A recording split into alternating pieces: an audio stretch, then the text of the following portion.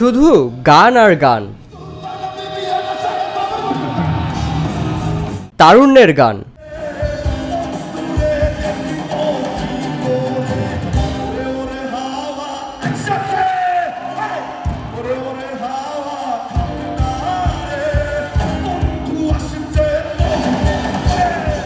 এভাবে প্রায় সাড়ে পাঁচ হাজার শিক্ষার্থী মাতালেন জনপ্রিয় সংগীত শিল্পী আদনান আসিফ এবং জনপ্রিয় ব্যান্ড অ্যাশেজ।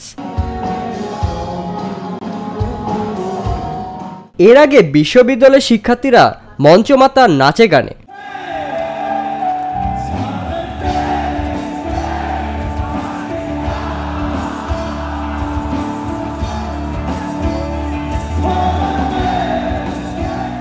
বর্ণিল এই আয়োজন Daffodil International University software engineering অনুষদের এক যুগ পূর্তি উপলক্ষে। আশুলিয়ায় বিশ্ববিদ্যালয়ের নিজস্ব ক্যাম্পাসে ছিল দিনব্যাপী এই আয়োজন।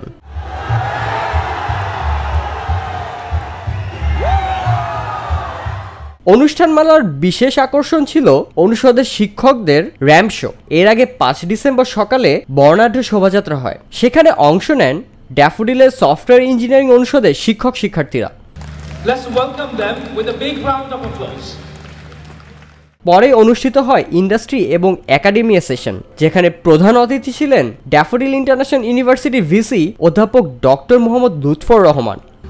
এতগুলো দিন পার হয়ে গেল এবং আজকে আমরা বারো বছর উদযাপন করতে যাচ্ছি বিশেষ অতিথি ছিলেন বিশ্ববিদ্যালয়ের সফটওয়্যার ইঞ্জিনিয়ারিং অনুষদের প্রধান অধ্যাপক doctor Imran Mahmud May Allah bless us in this new journey. Hope you will enjoy today's program. Assalamu alaikum. পরে অনুষদে বারো বছর পূর্তি উপলক্ষে কেক কাটা হয় এবং প্রজেক্ট শোকেসিং এর জন্য পুরস্কার তুলে দেওয়া হয় শিক্ষার্থীদের হাতে Daffodil International University software engineering অনুষদের যাত্রা শুরু হয় দুই হাজার দশ সালে সবশেষে সন্ধ্যায় ছিল জমকালো আতশবাজি প্রদর্শনী।